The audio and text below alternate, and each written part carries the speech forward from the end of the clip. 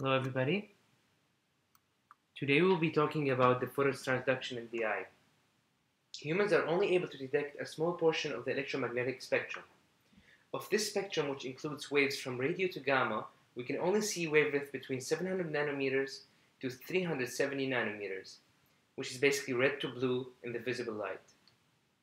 The lens of the eye, in this figure, uh, focuses light on the retina, which is the, the uh, orange region in this figure.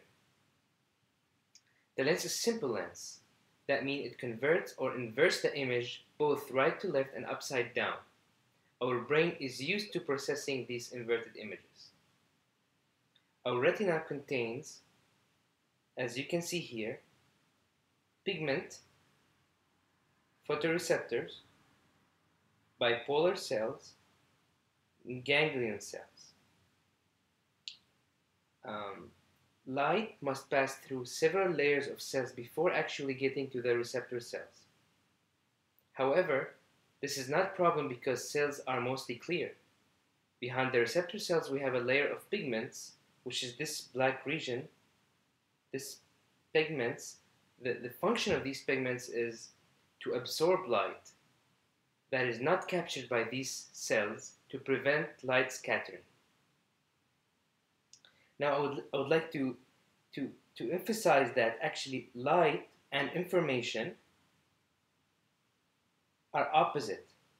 So if we imagine lights coming from here, which is basically from that from the ganglion here all the way up to the choroid, well it gets absorbed, and then the info is the opposite where it comes down from the pigment to the bipolar, sorry, to the photoreceptors, then to the bipolar, then to the ganglion cells, which send its axons down here.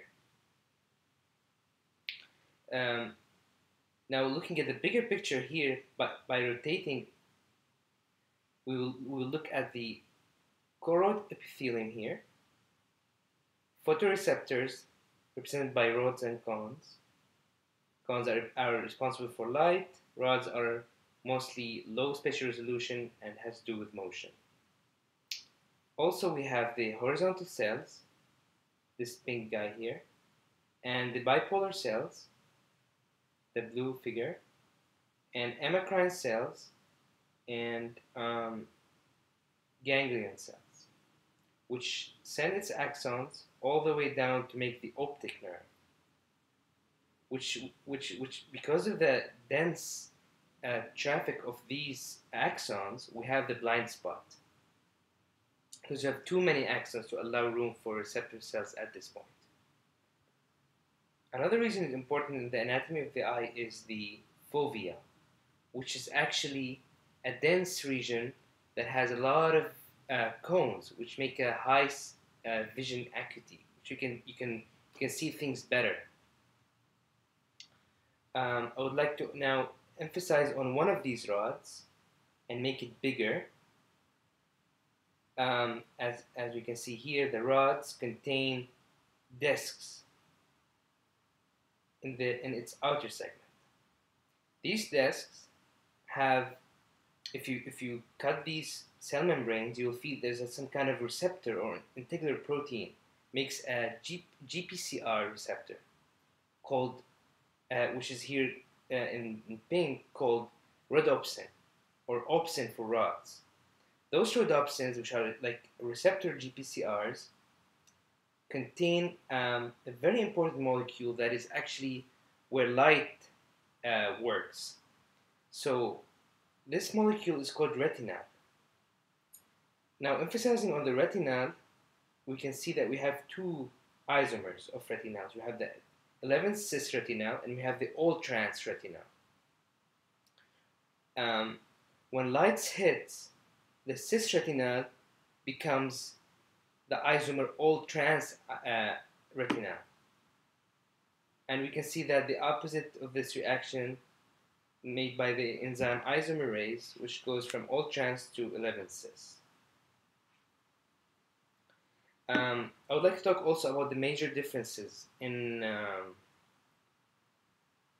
in the between cones and rods.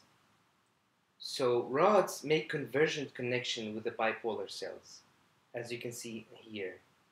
How these rods make conversion, they converge to, to the bipolar cells, which make them low in spatial resolution and high in sensitivity, versus the um, cones, which are high in spatial resolution and low in sensitivity, have a divergence. Um, one, one other thing that I would like to talk about is all the uh, when light hits bipolar cells have hyperpolarization rather than depolarization, which is kind of counterintuitive. Versus in the dark, we will have a depolarization, and they're all graded. Until you become here, where you have action potential, the only place you have action potential in the eye is at the ganglion cells. I will talk more about this in another uh, video. I hope that was helpful, and um, thank you. Take care.